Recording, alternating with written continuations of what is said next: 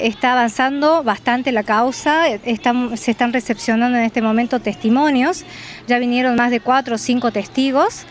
Em, también se está procediendo a, las desgrabaciones de los celulares para poder eh, autenticar toda la prueba que nosotros ya hemos presentado y se están tomando otras medidas más eh, de prueba que el mismo fiscal ha decidido que se tomen, así que esperaremos a ver si en algún momento se encuentran todas las pruebas en el proceso para que él ya tome una determinación, como por ejemplo la imputación de Guaraz. ¿Se le impusieron restricciones al intendente Guaraz? Eh, sí, en mi causa sí. Eh, en la causa que yo estoy tramitando... ¿Habían pedido de su lado? Sí.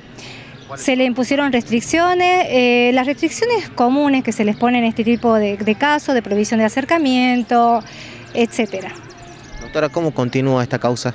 Bueno, ahora como le digo, ya eh, el juez, el fiscal va a tratar, supongo yo, que terminará de, llevar a cabo todas las medidas de prueba y esperemos que proceda la imputación. Bien, para que la audiencia retome en cuanto a esta causa, eh, coméntenos en qué se basa la denuncia.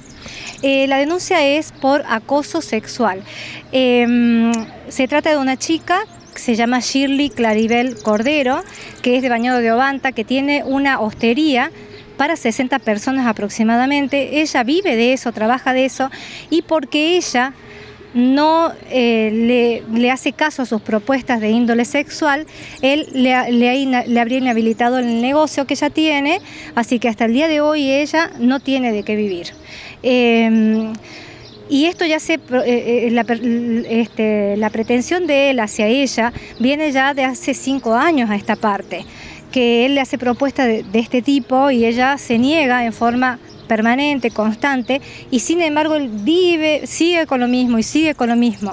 Es lo que hace que el hecho encuadre dentro de lo que se llama el tipo penal de abuso sexual simple. Después de esta ronda de testigos, declaraciones y demás, ¿usted cree que ya llega el momento de la imputación?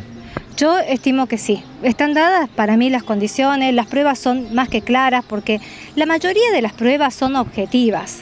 Son mensajes de WhatsApp, hemos podido recuperar también mensajes de Facebook, a donde él, él la celaba, a donde él le decía que la quería solo para ella, para él cosas así, eh, eh, todo eso se va a proceder ahora a la desgrabación como corresponde, para fin de que queden autenticadas en el proceso y bueno, esperemos que ya el fiscal tome decisiones.